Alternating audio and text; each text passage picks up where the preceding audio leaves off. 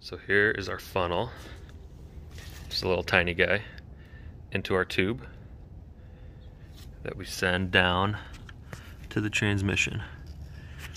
So this is your exhaust header going down. The tube runs over the top towards the back. This is on this side of the car. Go down underneath. See the tube coming down into the transmission there. And that's it.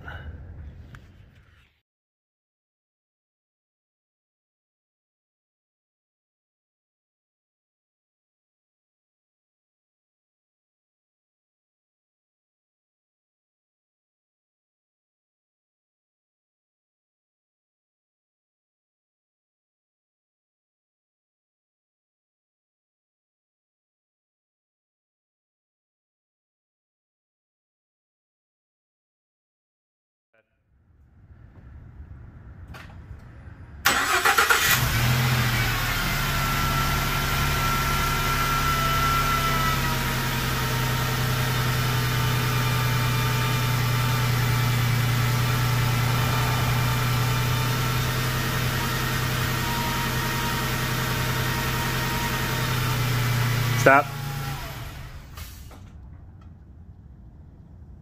Perfect.